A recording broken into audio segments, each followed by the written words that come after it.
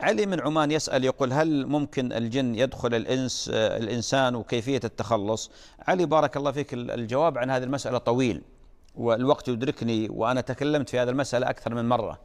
آه، علماء أهل السنة بالاتفاق على آه، آه، جواز وإمكانية دخول الجن في الإنس ويستدل ذلك بجملة من النصوص في القرآن والسنة منها قول الله عز وجل لا يقومون إلا كما يقوم الذي يتخبطه الشيطان من المس.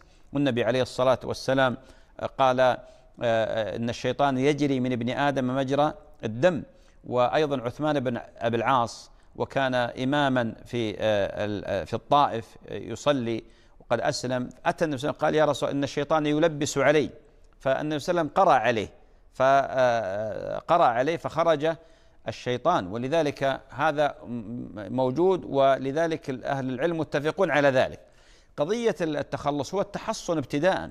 فالإنسان الآن عندنا أذكار الصباح وأذكار المساء عندنا أذكار النوم أذكار الاستيقاظ أذكار الخروج من البيت أذكار الدخول. ليش شرعت ولماذا شرعت؟ لأجل أن يتحصن الإنسان من الشيطان. فالله جل وعلا قال إن الشيطان لكم عدو فاتخذوه عدوا. ولذلك أغلب الناس للأسف يعمل بأول الآية ولا يعمل بآخر الآية.